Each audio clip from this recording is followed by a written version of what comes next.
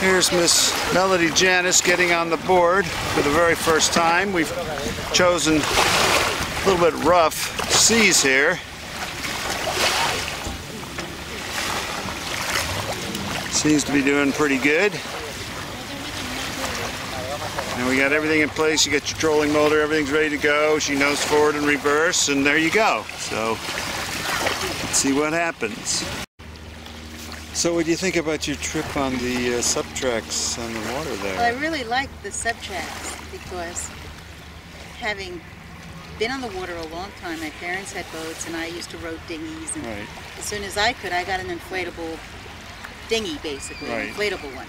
And um, it's really, it, that was fun, but this is nicer because it's it's compact, it's light, I can set it up, I can put the chair, I can bring what I want with me for the day, fishing gear or But you just got right on it there. Tell us about that. I mean, you've never been on this thing before, right? No, no, and quite like a, a, a canoe or a rope boat or anything, you just you get your foot in the middle and then you get your other foot as close to the middle as you can, keeping your balance. Okay. And, and, I mean, I kind of adapted. I knew that. I felt you know Okay. comfortable doing that, and then once you're on it, it, it couldn't. I took a turn that was unpredicted, you know, because I sped up the motor without knowing I was going to do it, and. Um, I didn't feel nervous. I wasn't scared. I didn't feel like I was going to go over at all. I just figured out, well, I'm going a little fast. I'll just slow that down. You know.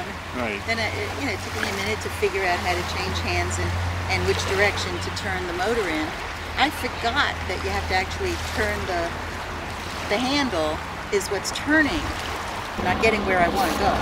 Whereas this was really easy. I wanted to go to Sunfest right now. Yeah, I mean, okay, it's a, it's two and a half miles to downtown West Palm Beach. Uh, is that something that you would think about doing? I would absolutely think about doing that. I would Really? absolutely go on an intercoastal tour.